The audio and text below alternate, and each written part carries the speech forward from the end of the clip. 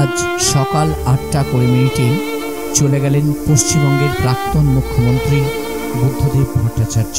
প্রয়াত প্রাক্তন মুখ্যমন্ত্রী ভট্টাচার্যের এই প্রয়াণে বাম রাজনীতির অন্তিম নক্ষত্র পতন।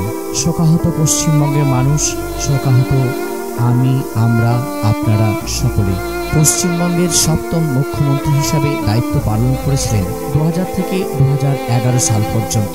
পাঁচ দশকেরও বেশি রাজনৈতিক কর্মজীবনে তিনি তার শাসন আমলে ভারতের কমিউনিস্ট পার্টি মার্ক্সবাদীর সিনিয়র নেতাদের একজন।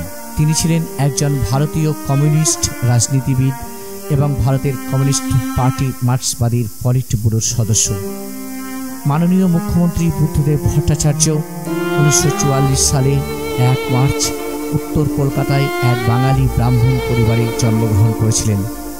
পিতা নেপাল চন্দ্র ভট্টাচার্য কবি সুকান্ত ভট্টাচার্য ছিলেন তার পিতার মামাতো ভাই।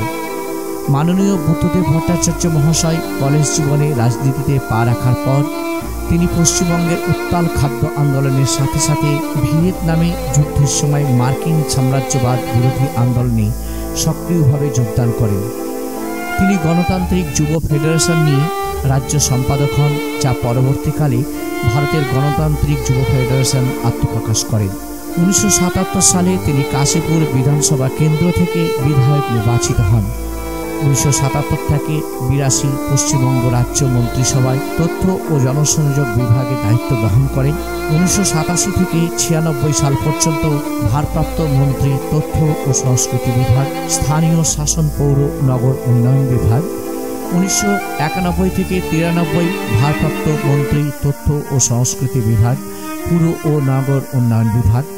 উনিশশো চুরানব্বই সালে ভারপ্রাপ্ত মন্ত্রী তথ্য ও সংস্কৃতি বিভাগ, এরপর উনিশশো ছিয়ানব্বই ভারপ্রাপ্ত মন্ত্রী স্বরাষ্ট্র আরক্ষা বিভাগ, উনিশশো নিরানব্বই সালে উপ মুখ্যমন্ত্রী এরপরই দু সালে ছয় নভেম্বর পশ্চিমবঙ্গের মুখ্যমন্ত্রীর দায়িত্ব গ্রহণ করেন।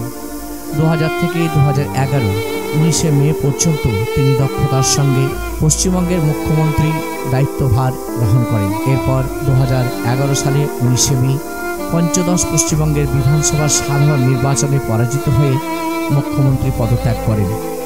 দু হাজার বাইশ সালে তিনি পদ্মভূষণ লাভ করলেও তা তিনি প্রত্যাখ্যান করেন।